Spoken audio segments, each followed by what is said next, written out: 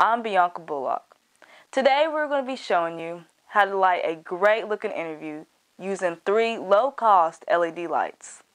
There are many low cost LED lights that you can buy. The three that we will be using will be the Yongnuo YN216. It will be the main light. The Flashpoint 312 will be the fill light and the Flashpoint 198 will be the hair light.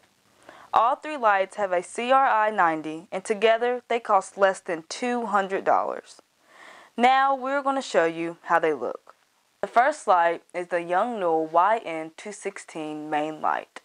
The second light is the Flashpoint 312 fill light. The third light is the Flashpoint 198 hair light. It's amazing what you can do with a small amount of money. Add in three low-cost light stands, and in less than $300, you're ready to have a great-looking interview. If you would like to see more helpful low-cost photography tips, hit the subscribe button and let us know what you think. Thank you for watching Great Video and Photography on a Budget.